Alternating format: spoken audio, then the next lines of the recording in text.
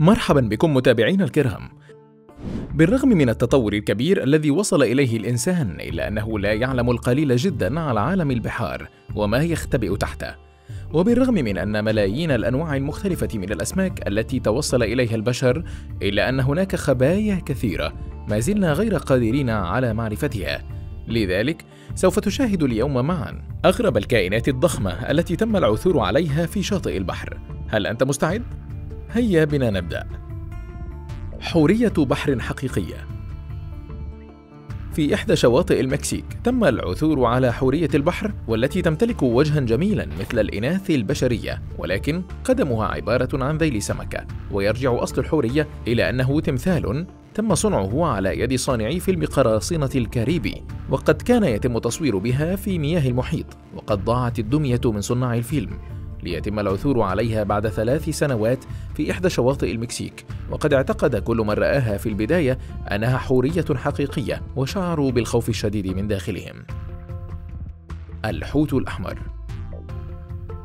في إحدى الشواطئ النائية في إندونيسيا تم العثور على جثمان مخلوق بحري لا يبدو عليه أنه ينتمي إلى العالم الذي نعيش فيه فقد كان لونه أحمر بالكامل كما أن المياه من حوله كانت حمراء. وفي البداية انتشرت شائعات كثيرة وأساطير حوله وحول ماهيته. ولكن في النهاية استطاع علماء الأحياء أن يتوصلوا إلى حزوز في جسده وعلموا أنه ينتمي لفصائل الحيتان المختلفة ويرجع السر وراء لونه الأحمر إلى البكتيريا التي تكون نتيجة تعفن جسده. نصف سمكة قرش. تعتبر رؤية أجسام أسماك قرش على شاطئ البحر شيء غير طبيعي بالمرة، فما بالك إذا بالعثور على نصف سمكة قرش على الشاطئ؟ في عام 2017 في إحدى شواطئ فلوريدا بالولايات المتحدة الأمريكية تم العثور على نصف سمكة قرش حيث أن يبدو أن نصفها الآخر قد تم التهامه من قبل حيوان أكثر ضخامة ووحشية منها. آثار الأقدام الكبيرة في الحياة العادية اعتاد الإنسان على رؤية قدم يصل طولها إلى 28 سنتيمترا كحد أقصى. وما هو أكثر من ذلك يعد مقاسا ضخما ونادرا ما يتم إيجاده. في إحدى شواطئ المملكة المتحدة جن جنون عدد كبير من الأشخاص الذين اعتادوا الذهاب إلى ذلك الشاطئ بعدما رأوا آثار الأقدام الضخمة على هذا الشاطئ. وقد قالوا أن هذه الآثار تعود إلى كائن بحري مجهول يمتلك نفس جسد الإنسان لكنه ضخم جدا وأسطوري. ولهذا فإن آثار أقدامه بهذا الشكل المخيف ولكن الحقيقة كانت مختلفة عن ذلك تماما. إذ أن آثار الأقدام التي تم صنعها على يد اثنين من فنانين الرسم الذين قرروا رسم عمل فني مختلف يثير إعجاب ودهشة العالم أجمع. أسنان حادة.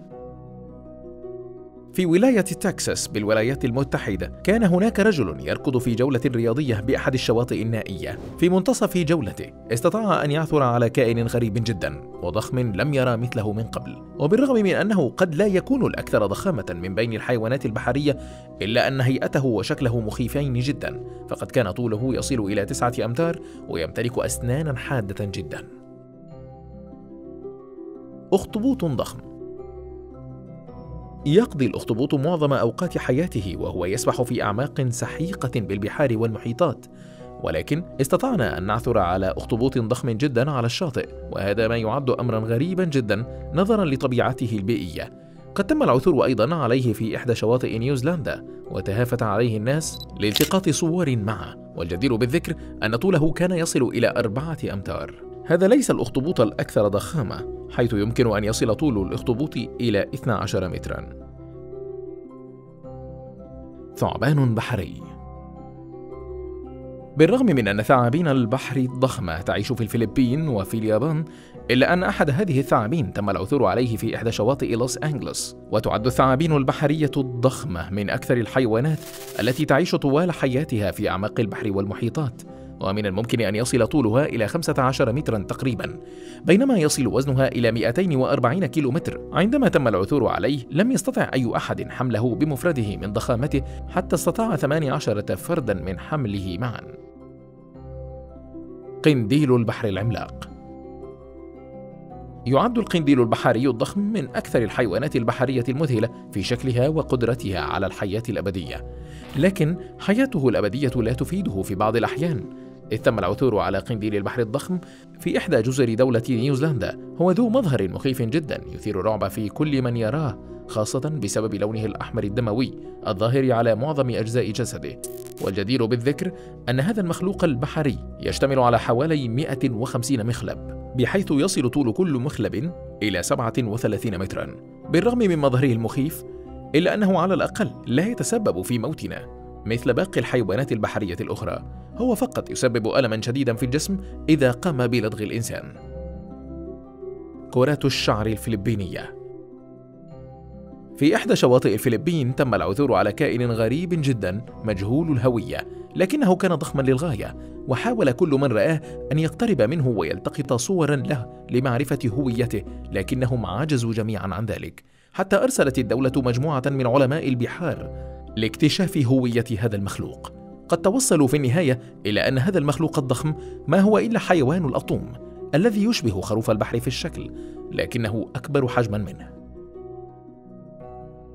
نفايات حوت العنبر.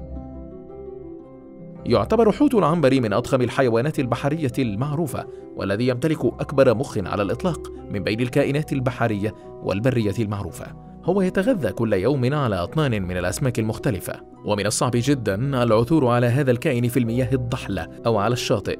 لكن هذا ما حدث بالفعل قبل عدة سنوات. تم العثور على جثته في إحدى الشواطئ النائية عندما قام العلماء بفحصه. تأكدوا أن القمامة التي تلقى في البحر يوميا هي السبب الرئيسي في موته وخروجه إلى الشاطئ. فقد كانت معدته مليئة بأطنان من المواد البلاستيكية. سمكة الشمس تعد مياه المحيط هي المسكن الرئيسي لآلاف الأنواع والفصائل المختلفة من الأسماك المعروفة وغير المعروفة حتى الآن. تعد سمكة الشمس من المخلوقات التي تم اكتشافها حديثا من قبل علماء البحار. هي سمكة نادرة لا يسهل رؤيتها في المياه، لكن في إحدى شواطئ كاليفورنيا تم العثور على سمكة الشمس وهي هامدة على الشاطئ. قد كانت بحجم ضخم جدا على عكس طبيعتها حيث وصل إلى 2300 كيلوغرام. والجدير بالذكر أن جسدها لا يتكون إلا من رأس وزعنفتين يمكنوها من السباحة في الماء.